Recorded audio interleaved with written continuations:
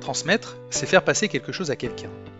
Si cette définition nous permet de visualiser une sorte de relais, elle ne nous explique cependant pas ce qui le motive.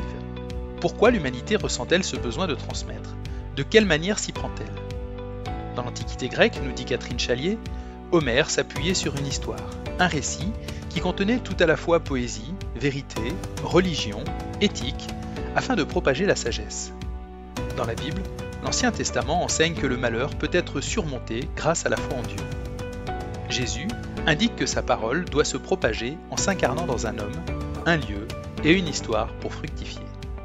Si le désir de transmettre est couplé à celui de recevoir, alors la nouvelle génération pourra s'appuyer avec confiance sur l'expérience de l'ancienne pour trouver sa place dans une histoire qui se perpétue, une tradition vivante qui fait sortir le présent des ténèbres de l'incompréhension.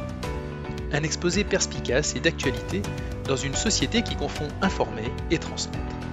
Mais la transmission est une éducation à la liberté, essentielle pour ne pas abandonner nos enfants dans le monde chaotique d'Internet et des réseaux sociaux.